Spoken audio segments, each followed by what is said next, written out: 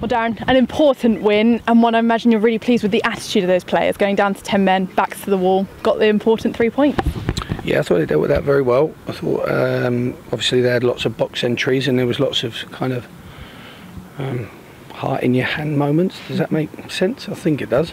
Um, uh, and uh, you know, and look, sometimes you just have those days where you you're resolute and you kind of hold on for dear life and you know, today was one of them. Um, I thought the players were excellent, and, and, the team that finished was such a young team.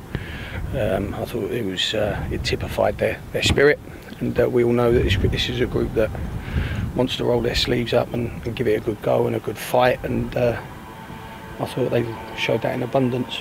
And getting that goal inside the first 15 minutes, wonderful finish from Charlie Wakefield. You needed that in recent weeks. Yeah, of course, and um, the manner of it typifies the, the role that we we really want him to play, uh, and how sorry how we want him to play the role, um, because his pace is, um, you know, it's electrifying and it turns some some inaccuracies or sometimes a lack of quality into something of quality and accurate. So he uh, his pace does fill uh, a huge void for us in that in those moments. Uh, but it was a good finish. It was very calm and very, you know, I, I like the way he brought the ball back outside of his outside of his hips to open the goal up. I thought that was very centre forward like. It wasn't a winger type touch, but uh, I thought he did that very well. But his work rate when we went down to 10 men, I thought was incredible, absolutely incredible. And Woking brought on two substitutions at half time, shows you how dominant Yeovil Town were, but then going down to 10 men, that was tough on the players.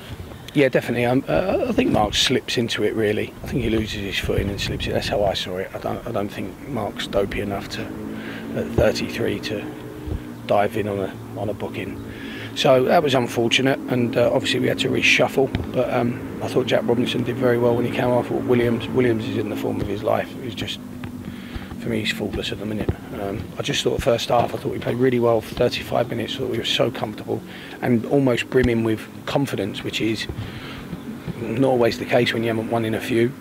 Um, and, uh, and and in the last 10 minutes and a half, I just thought that confidence became complacency, and, and we lacked purpose after that. But obviously, the game changes in, after the sending off, and we have to be a little bit more cautious. And you know, sometimes those balls come into the box, and someone's just waiting there to head it on the back post. So, you know, we've, we've, uh, it was a very hard-earned win, um, and it doesn't matter how they come. We take as many as we can. And not an easy debut for Ben Barclay. How no, did you think he did? Well, he was magnificent. Obviously, the back the back four and the goalkeeper should take um, you know massive credit and plaudits for their uh, for their resolve and their resilience. And uh, I thought Ben was excellent. We we spoke actually quite a lot uh, uh for a 26 year old to uh, coming in on loan. Only for Ben and I have actually spoken a fair bit in the first few days, which is sometimes difficult, but I tried to give him as clear an indication. He wanted me to give him clear instructions on what was expected of him, and from what I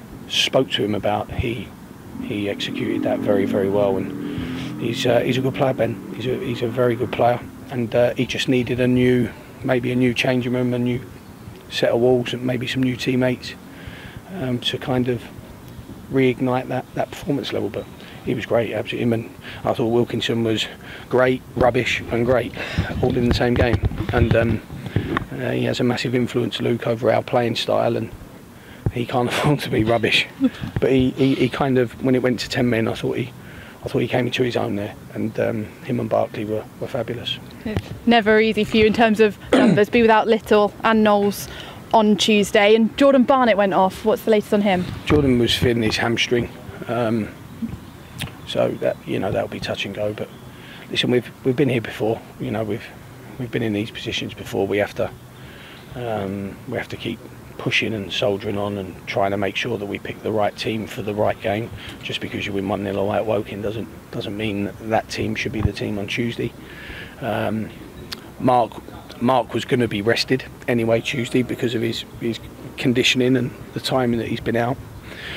um, so yeah, I can't. I'm not trying to protect him on that one, but that was kind of the early plan. Um, but then, of course, you have him on the bench just in case. So, no, it'll be it'll be a shame to be without him. Tom, we spoke to Tom before the game about his four bookings and that he had to get through today, and he's gone through quite a, a long time without getting booked. And then the daft bugger got uh, received the caution for delaying the, the start, which was true Tom Knowles dopey fashion. Um, so um, so yeah, look, we'll be short. We've, we're always short. Uh, I've told I've told the players already. I think it's really important. It doesn't matter how they feel on Tuesday. There's no room for fatigue in these games against Weymouth. They have to feel and be ready to go to battle, go to war. And it feels strange that that's the first meeting in the league after those two mammoth FA Cup games. It's going to be a big crowd at Huish Park. Players must be really up for it. Yeah, they're good. They're good games. Um, the two FA Cup games were horrendous, um, absolutely horrendous features for me. But um, hopefully this will be a, a, little bit of a better showing. Um, it was nice to get that that win, that New Year win out the way going into it because I think every player, any human being, goes down the tunnel after a win in a in a different state. And um, it would just be important now that we try and push and we try and. Uh, we try and create some sort of momentum. I always think the second game's the hardest after a win to back it up so that it's not in vain. Um, so it'll be tough and physically and mentally it'll be a, it'll be a tough night Tuesday.